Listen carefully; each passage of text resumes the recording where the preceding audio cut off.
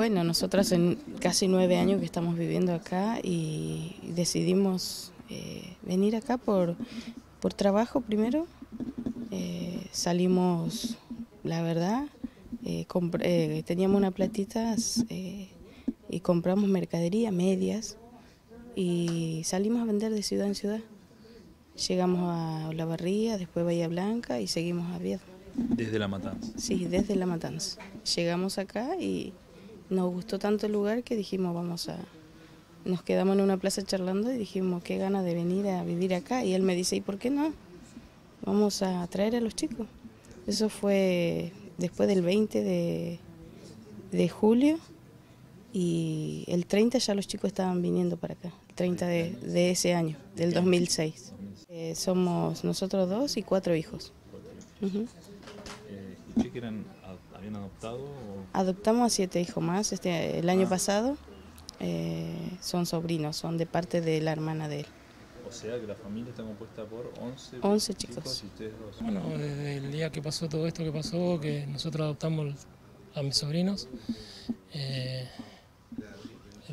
tanto el vicegobernador como parte del gobernador también y todos los funcionarios que, que se pusieron de acuerdo en aquel momento, eh, bueno, se nos cedió lo que es una casa, ¿sí? así que en el barrio La Valle, donde cuenta con todos los servicios, pues nosotros vivíamos en el 30 de marzo hasta entonces, y bueno, no, algunos servicios que no que faltan en el barrio hicieron a que bueno no tengan que trasladar a ese lugar, así que bueno, hoy se nos hizo entrega de lo que son eh, todo el listado de materiales y el compromiso de las personas, los funcionarios que están a cargo de este proyecto y que bueno, que va a hacer que nosotros tengamos nuestra propia casa y bueno, también con esto que estamos pasando, ya somos 13, a veces somos 15 en la casa y bueno, la verdad que se hacía muy complicado.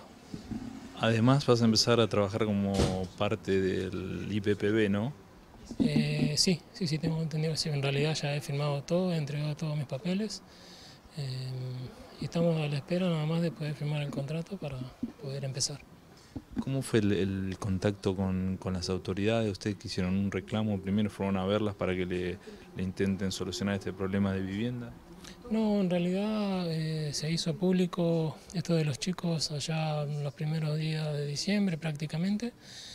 Y y ahí fue cuando se, se, acercaron ellos en realidad a nosotros y de todos lados, tanto de nación como de provincia, como de municipalidad. Realmente no queremos dejar a nadie afuera porque todas las partes, eh, lo que son para los niños, lo que es para los adultos, de, todos los sectores se han acercado y han colaborado. Por eso el agradecimiento de nosotros, así sea un granito de arena que hayan puesto, la verdad que lo hicieron muy bien y a nosotros eh, nos dieron la posibilidad de poder brindarle a los chicos lo que realmente se merece.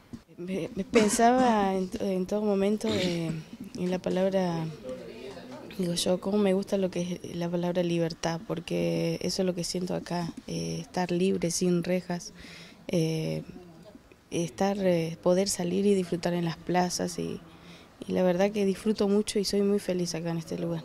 Eso es lo que, y ver que mis sobrinos también vivan eso y que puedan jugar, disfrutar y vivir feliz, eso es lo que más me hace, me hace bien.